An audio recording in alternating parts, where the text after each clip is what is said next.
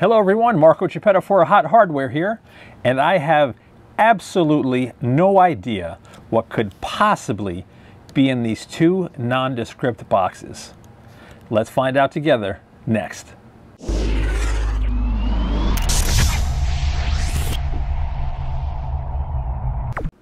Okay, so obviously I'm having a little bit of fun with you. It is plain to see what I have in front of me here. There was swag included. There's branding all over the place. These are Intel's brand new ARC A750 and A770 limited edition discrete GPUs. They have arrived in the lab for testing. The reviews are coming very soon. But when I opened up these boxes, there was some cool stuff happening inside. So let me jump behind the camera because I want to show you what the experience is like from start to finish unboxing an Intel Arc 7 Series GPU. Okay, so I want to show you what I saw when I cut the tape on these boxes. The first thing you'll see is this little message. And then when you open these flaps, the actual GPU box is lifted up and presented to you. As you can see, this is the ARC A770. It's exactly the same inside for the 750, so I'm not going to open that one in front of you. But let's get inside this box and check out the card. Okay, there she is. I took the liberty of removing the security tape on the front of the box. And as you lift the lid, here we go. There is the brand new ARC A770 discrete GPU. Now this is the limited edition board with the RGB lighting and 16 gigs of memory. There is also an 8 gigabyte version coming that does not have all the fancy lighting. But yeah, that is what is inside this box. Let me show you the 750. Okay, so same deal here. This is the ARC 750. The presentation is exactly the same. There is the card. At the top, there is a spot for a little lit pack. But here is the A750 GPU. So Intel just released pricing on this bad boy yesterday. This guy is going to be arriving on October 12th for $289. Looks very similar to the 770. This one is without the RGB lighting as well. But yeah, there is the ARC A750. Let's get a closer look at both of these bad boys.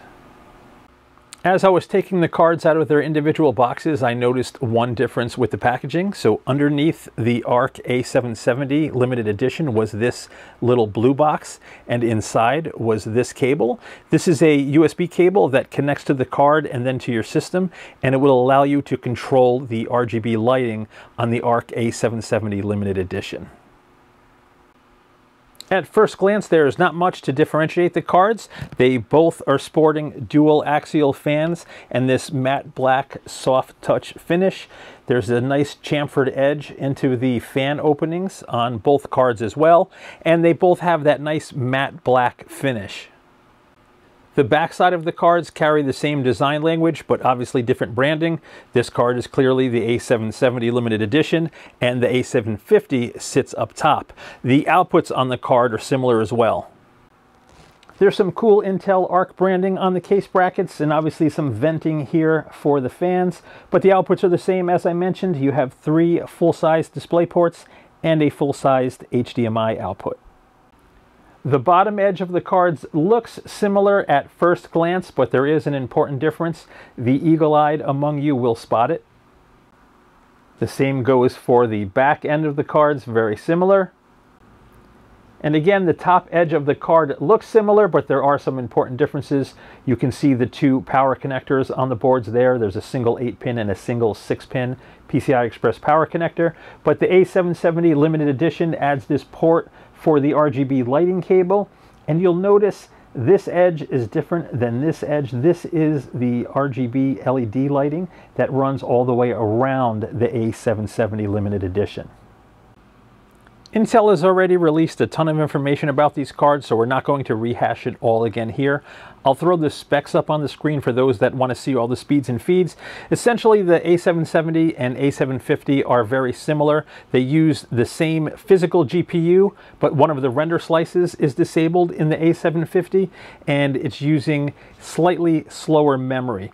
So the A750 has 28 Xe cores with 448 XMX engines. That's comprised of seven render slices and there are 28 ray tracing units inside there. The expected graphics clock is 2050 megahertz and it's got 8 gigs of GDDR6 connected on a 256-bit interface at 16 gigabits per second. Now that equates to 512 gigabytes per second of peak memory bandwidth. So the A770 is the full implementation of the GPU. It has 32 uh, Xe cores with 512 XMX engines. That's a full 8 render slices with 32 ray tracing units. The GPU clock's expected to hover around 2.1 gigahertz on the 770 limited edition though, so clocked a little higher.